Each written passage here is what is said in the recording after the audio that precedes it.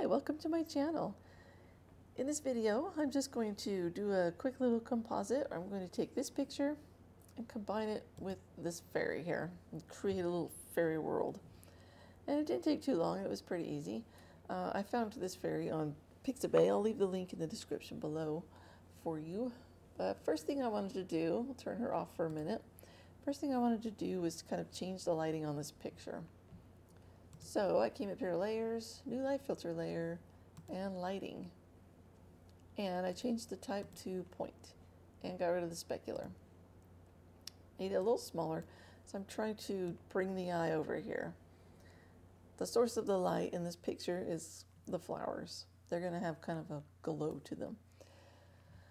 So we're going to change the blend mode to multiply to. There we go. And you can shrink it or grow it, whatever you want to do.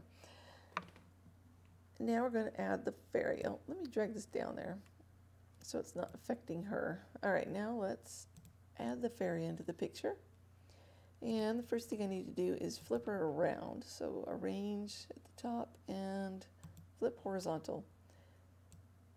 Make her smaller and I'm going to turn her a little bit and I want her to be kind of looking at the flowers. All right, now let's blend her better. First thing I'm going to do is come down here to adjustments and go to gradient map and drag that down and add it to her layer, attach it to her layer. And uh, I made a video on how to how I use gradient maps to blend colors. I'll leave a link for that in the description below too if you want to watch that.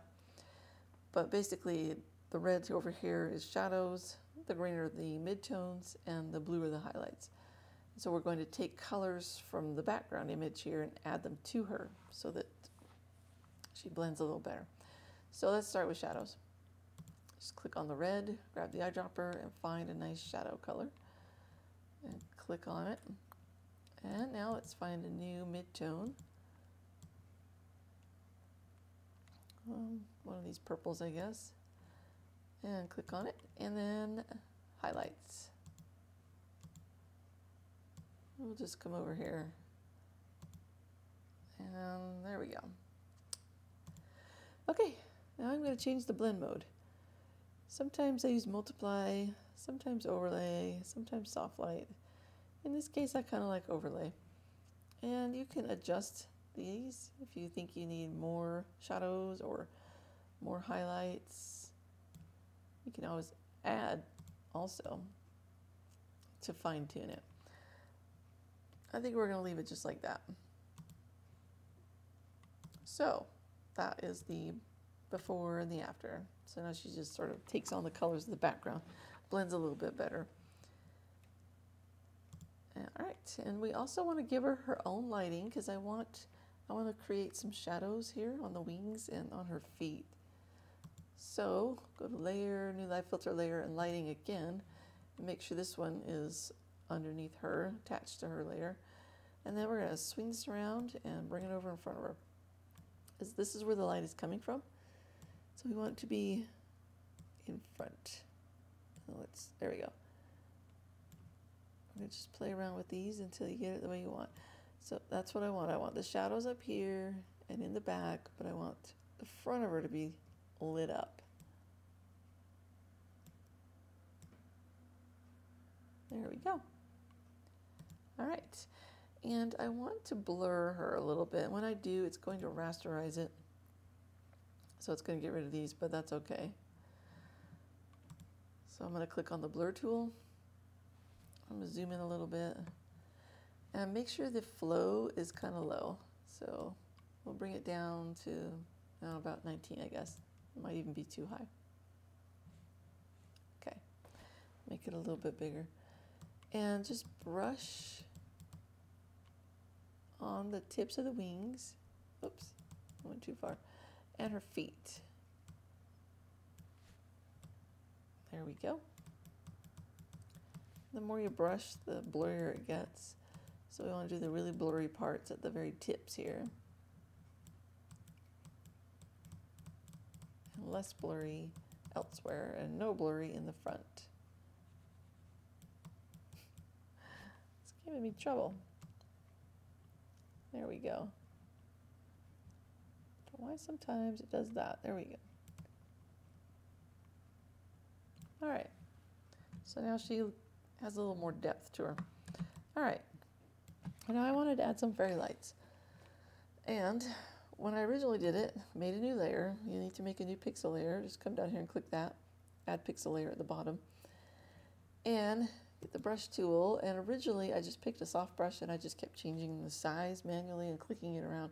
But that wasn't good enough. So I played around with that brush until I came up with one that did what I wanted.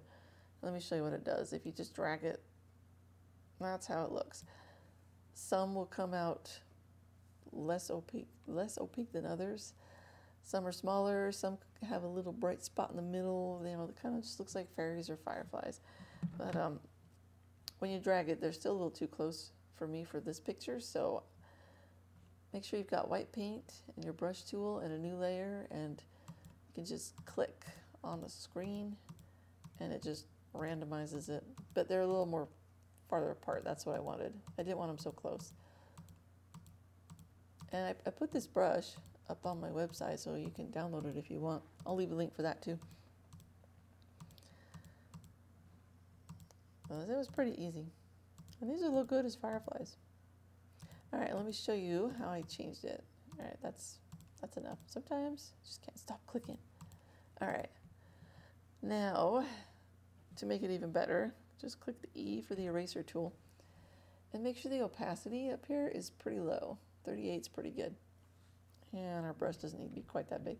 So what we want to do is we want to pick some of these and just go over them with the eraser. And the more you brush on it, the further in the background it goes. So this one's really far away. It's barely there. And we'll make this one far away. This guy can be far away too. We want some to be further and some we want to just leave the same so they can be close. Even some of these can be a little different. This one can be really far away. That one's kind of far away. This one can be close. This one can be close, but this one should be far away. This one's really far away. Barely there. This one's a little further than that one. This one's close. But see how it gives it some depth there? I like it. That's just an easy way to do that. All right. Now I want to add some shadows because I want to really focus the attention here. So the way I did that was I made a new layer and with the brush tool, this time I got just a plain big round brush. Get nice and big. And I got about, yeah, we'll use 70% black. I never use total black, 100% black. So I always just use one of the darker grays to make my shadows. So let's brush this on where we want it. You can always go erase some if you do too much. Sometimes I can get carried away. And then change the blend mode to multiply.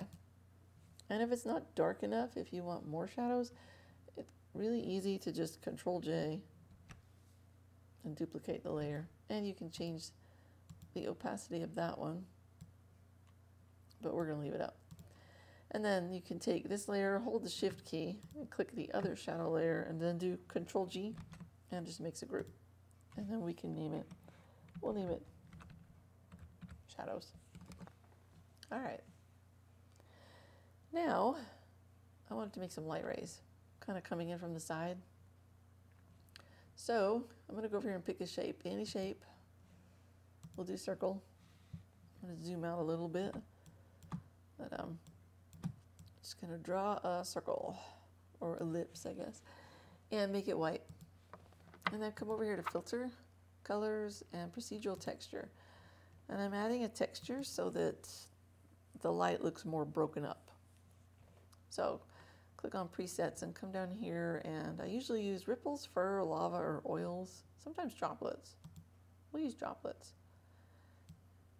You can, yeah, the more whites you have, the more, if you use black, it's going to disappear. So the more whites you have, the more beams you're going to have. So we'll, well, we'll try it like that. And you can change how big or small they are. play around with it. Okay, we'll click apply. Let it do that, and then we're going to come back up here to filter and blur and then zoom blur. We're going to move that over. You can actually drag it right off the picture. Just put it any direction you want. I think I'm going to do it like this, and then I'm just going to have to make those a little bigger. Okay, so down here, the slider only goes to 100. So click in the box, and you can go all the way up to 1024. And we're going to do about 800, I think, for this one, and click Apply. And sometimes that takes a minute. Seems to be going pretty fast. All right. I'm going to stretch these out a bit. They were too small. And I'm going to drag this behind my shadow layer there. That way it blends in with the shadows better. And I'm going to change the blend mode to screen. And I'll probably change the opacity here a little bit. Uh, there we go. And now you can take, I think I'm going to make a mask. You can use the eraser, but you make a mistake, then it's easier to fix if you just use a mask. So go down here and just click right there where it says mask layer and make a mask on your light rays. And then get the paintbrush tool and get black paint and lower the opacity though. That way you can just sort of brush here and there.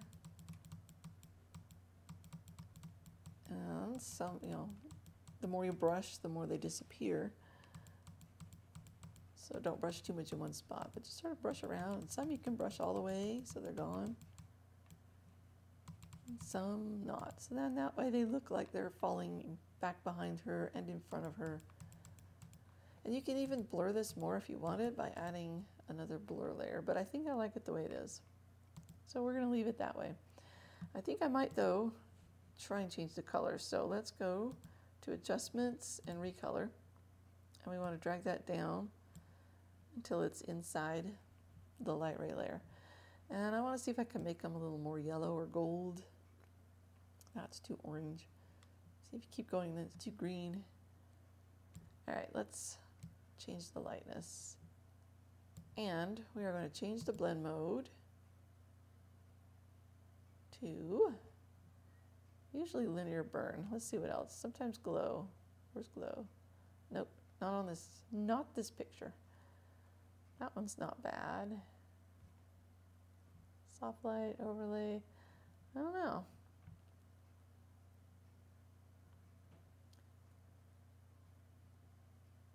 We'll do soft light. Every picture's different. no. Okay. We probably will change the opacity of that though. Let me go back to it. Yeah, there we go. Let's lower it a bit. All right. All right, now I want to brighten up the image a bit. There are a lot of different ways to do that. I think for this one, we're going to do brightness and contrast. Just up the brightness and up the contrast a little. And that worked just fine. I think our little fairy needs to be, let's see. No, I like her back behind the behind the light rays. Thought she might need to be in front of them, but I like her back there. And that is how easy it is to make a fairy wonderland. That's just a quick, easy way to do it. I hope you found something useful in this video. Don't forget to like the video and subscribe to my channel for more. Thanks for watching.